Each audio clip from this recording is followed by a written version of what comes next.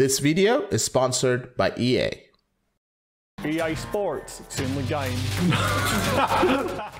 This is Techy, and that was good old Danny Ric giving us the hashtag Ricciardo Challenge. F122 game as well as Danny Ricciardo are working together to give us a really fun challenge for the Austin Grand Prix. F122 and Daniel Ricciardo's video is actually a lot of fun to watch. I'll link it in the description. Definitely go check it out. But the uh, because he talks us through the lap and he gives you a lot of good tips. I mean, his tips helped me get a little bit better didn't really help me catch him because I guess that's what they call talent and all those things. I mean, it's it's crazy, right? Like who would have thought that I couldn't beat an F1 driver going around an F1 track in an F1 car? But yes, we are driving the lovely future McLaren. And uh, of course, I mean, it's Danny Ric's challenge. We gotta do the hashtag Ricciardo challenge with the McLaren.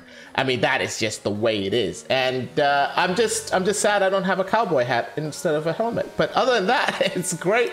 And uh, yeah, let's see how we do.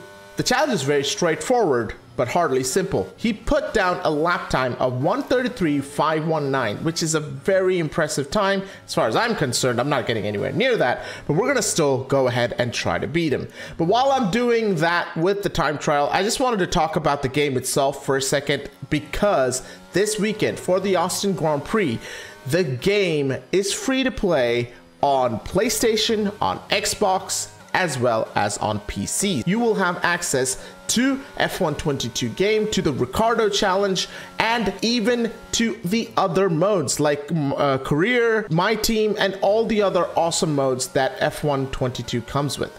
Now, to do this challenge, you can obviously drive with your driving rig, your wheel and stuff, but I wanted to just take a controller and just see how it feels. So I'm running, I'm running a lot of assists and uh, especially as you can probably see right on your screen, there's a visual racing line. I need those, okay? These help me have fun with the game. So I just wanted to just address the fact that if you're thinking or if you're worried that you don't have a high-end racing wheel or you don't have a wheel at all or you only have a controller or you don't even have a controller. I know people that do league racing on keyboard so it's definitely possible.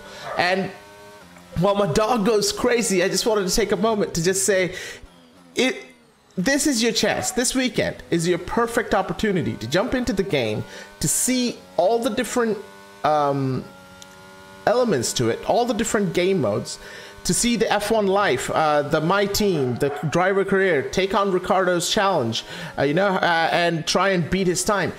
It's a cool opportunity. I'm very happy that uh, Daniel Ricciardo is working with F1 to do this, F122 to do this, because I think this is very cool. I mean, we never get an opportunity like this, and I hope this opens up the door for more drivers working with uh, F122 and like us getting more chances to go up against them because I think that's a very very nice uh, integration.